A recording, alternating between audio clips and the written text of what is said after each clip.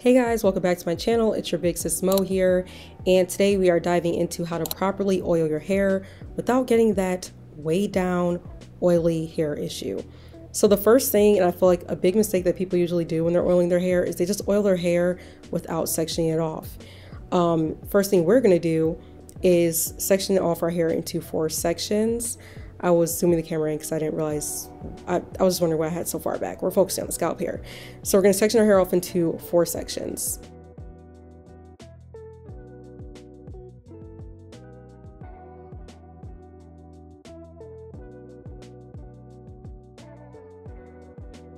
And just an FYI, I already applied my cream. So I already applied my um, leave-in conditioner, I apply my mousse. I don't use gel as a holder. I use mousse as a holder because gel makes my hair extremely stiff the next day. It's too heavy for me. Even the lightest gels just don't work for me. So this is not being done on hair with no product in it. I've already applied my product and now we're using our oil to seal in that product. Um, as you can see next here, I get my oil ready and I'm only using about four to five drops of oil. What I then do um, is I apply the oil to the parts that I made in my hair from the four sections. Now what I meant was the oil is sealing in the moisture. I don't mean sealing in the product, we're sealing the moisture. So after I apply the oil to the parts I made in my hair, we then apply it to the ends of our hair. And then I simply put my hair back into a bun and move on to the next section.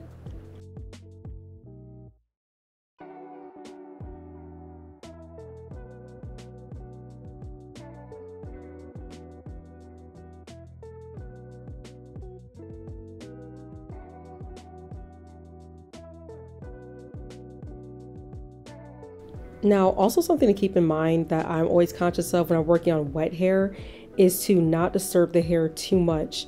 So that's why I'm really trying to rub my fingers onto those sections. Also, trying to get the oil directly onto my scalp. I notice that sometimes when people oil their hair, they'll just like put the applicator into their bun or into their scalp with like no aim. So they're just kind of laying the oil on top of their hair, on top of the actual like hair. So they're not really getting onto the scalp. And what we're trying to do is have that hair penetrate our scalp because of course we're trying to nourish the scalp. We're trying to lead to hair growth hair. But also I'm trying to be very conscious of not touching my hair too much while it's wet because that just leads to frizz and makes the hair very frizzy before it needs to be because at the end of the day, naturally curly hair is frizzy regardless and I know it's going to frizz up. So I'm just trying to avoid making it frizzy faster and more frizzy than it needs to be.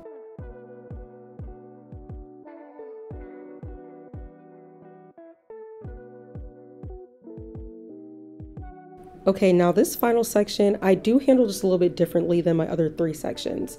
I've said in previous videos, this section is just a little bit more dense than the rest of my hair. So I split this section up into basically almost like two sections so I can get the like both um, sides of this patch um, because I, I usually also massage this um, side of my hair a little bit longer.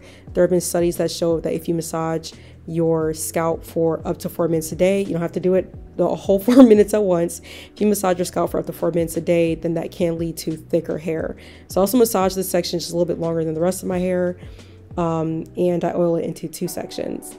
Now what I'm going to go ahead and do, I take all my hair down out of the buns and I'm going to diffuse until my hair is at 60% dry. Because it's winter, I just can't do the air drying thing. Um, it's too damn cold for that doing this video was hard enough because I just don't like wet hair on my back. Um, so I'm going to go ahead and grab my diffuser attachment so we can start the diffusing process. Now I'm sure there are cheaper options out there besides the Dyson blow dryer, which is the blow dryer that I use. But this, I, I bought this twice. It's my favorite. It is my favorite. It's my favorite. It's my favorite. I can't say that enough. Um, I do blow dry on the low heat setting and um, I only like sorry, blow dry. I only diffuse until my hair is about 60% dry.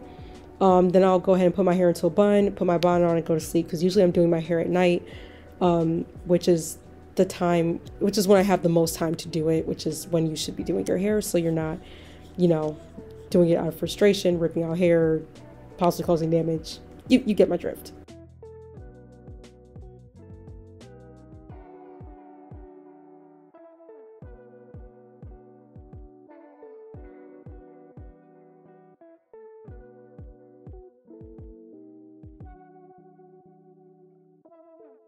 Okay guys, this is the end of our video. I hope that someone took something from this and you're no longer afraid of oil and weighing down your hair. We'll jump back to a new video next week. Uh, make sure you like, share, and subscribe. Until next time, guys, peace out.